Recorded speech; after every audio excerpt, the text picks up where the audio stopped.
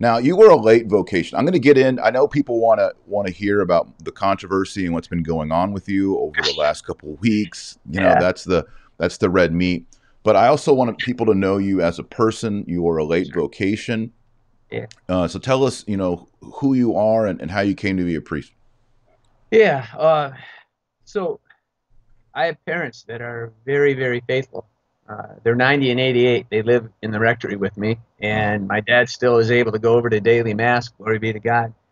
Uh, there was never a time when they didn't impart to us, the, the children, the faith.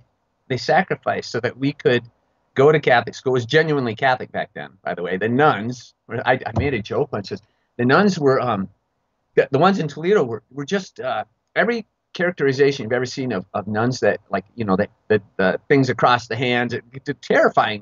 Uh, but then there were these nuns up in up in northern michigan where my mother was from and, and we called them mother not sister. And i think that genuinely made a difference in their outlook towards Uh, the children. And so i had mother i hope to meet them one day in heaven. I'm sure they're there. I don't know about myself but uh, mother matthias in third grade mother michaela in fourth grade. And and that made all their love their love of god and their love of us inspired the, the, the faith in me. And that's what people do when they're faithful. They inspire other people to be faithful. So uh, so then i grew up I, throughout college um, is when i first started teaching like ccd when i was in grad school uh, to get the mba i was i was teaching confirmation class there in ann arbor. And when i was in law school i was teaching confirmation class there too. And and then as a lawyer also teaching uh, uh, conference. So, so I was always close to going to retreats here and there, and um, th- this was, but this was not my plan at all. Uh, I really wanted 13 kids. I wanted a baker's dozen. It might sound like a lot. Maybe if I, maybe after one I would have changed my mind. I don't know, but uh, so so I was just all my life I was focusing on well, how can I somehow prepare, build for this this eventuality, which which uh, never came.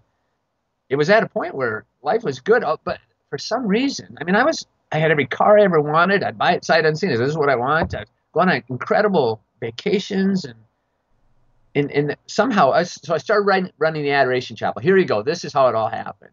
I started running the Adoration Chapel. A dear friend of mine, her husband got injured in an industrial accident, and um, so myself and a friend of mine, Joe Roll, who's now Father John Hughes, uh, took over.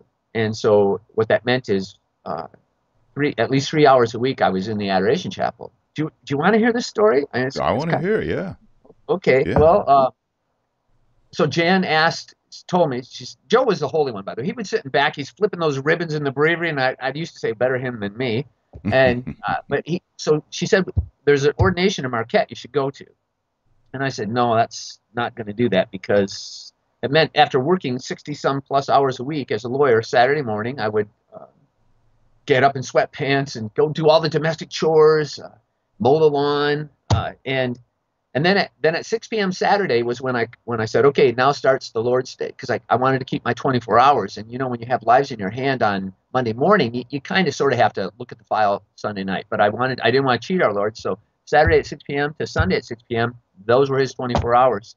So they kept harassing me to go, and finally I said, well, okay. She said she said everybody should go to an ordination at least once in their life.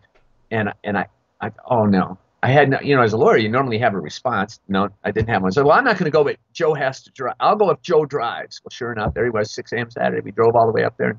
And then this, the ordination takes place. So you've certainly been to one. You know what they look like. And uh, so I sat in the last poss- occupied pew because that's where I always sat. I used to, I used to sit in the, the ushers' chairs in the back, and they got fed up with me taking their spots. They said, well, if you're going to sit there, you're going to be an usher. Okay. That's how it all started, too. So anyway, uh, you know, in, in, there comes a point in the ordination where the man lies flat on the ground, Yes. as there's a litany of saints. I the only you know you see the picture and you just you don't know the or the litany of saints is going on. Right. So he laid down. I thought that's just like it is in the pictures. And and then there comes a point, then that's over. Then he has to go up and he has to kneel before the bishop, and and he does you know laying on the hands, which I didn't know at the time, but it's like I think I'm pronouncing it incorrectly, but it's semicha. They've been doing it since Moses' day when God said, hey, you need 70 helpers. That's how you pass on authority. It's 3,400 years old. It's not something the Catholic Church has just made up. Right. It's 3,400 years old. But here's what I didn't know is that after that gets over, then one by one, all the priests that are there and the, the, the Ordinandi's friends, one by one, they come up and they lay hands right. on his head and pray silently.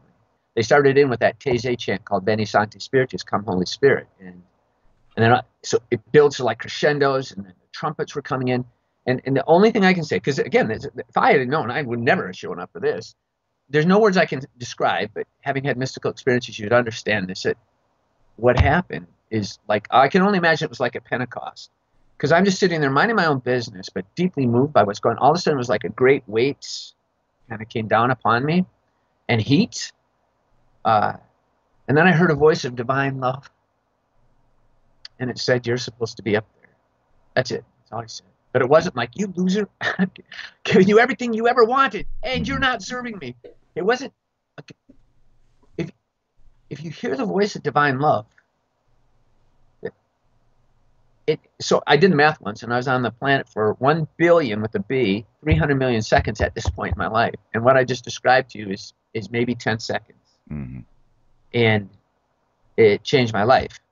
Because I knew in that ten seconds, my life, I had no, I, I didn't even know what a director of vocations was, but I knew that um, my life as I knew it was over, and and not well, the rest is history. Mm-hmm. Uh, so yeah, I, I, knew I started crying for all these people, all my friends that were there, this group of holy people. I didn't count myself among them. They were probably thinking, "Up, oh, he just got a vocation." Yeah. some of them claim that they knew it all along, mm. but yeah. Then ultimately, then it led to a whole bunch of another series of events and, and mystical experiences. And thank God, because not because I'm holy. That's what it would have taken for me to. My family thought I was crazy.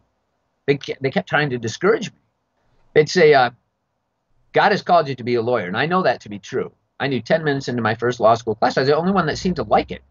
Uh, it I, I loved it. Uh, so, um, so they thought, no, you, you're just going off on some crazy tangent. But they weren't with me, you know, when I was at 2 a.m. down in the Adoration Chapel in, in the blizzard. There's great grace that comes at 2 a.m. in Adoration Chapel that you don't even know it. Yeah. So I highly recommend adoration for anybody. Listen, if you're not doing a holy hour of adoration a week, um, yeah, you spend time with the Eucharist.